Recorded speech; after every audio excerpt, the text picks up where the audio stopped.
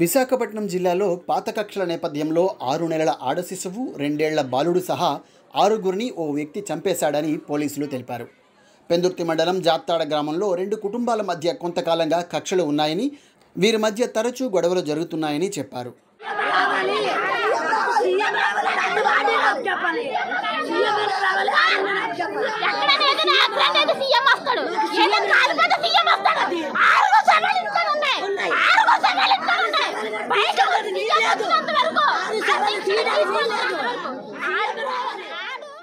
April పద్నాలుగు బుధవారం అర్ధరాత్రి ఇరు కుటుంబాల మధ్య గొడవ జరిగిందని ఈ గొడవ తర్వాతే అప్పలరాజు అనే వ్యక్తి మరో కుటుంబానికి చెందిన ఆరుగురిని గడ్డి కోసే కత్తితో చంపేశాడని పోలీసులు చెప్పారు.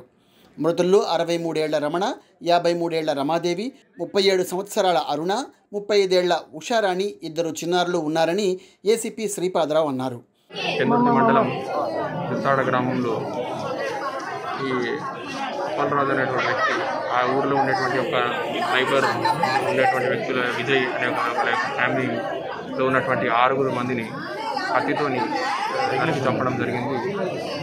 వీరికి మధ్య ఫ్యామిలీ యొక్క డిస్ప్యూట్స్ ఉన్నాయి.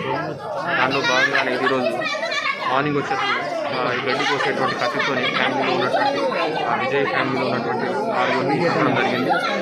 ఆ అక్యూజ్ని అదుపులో ఉంచుకున్నాం.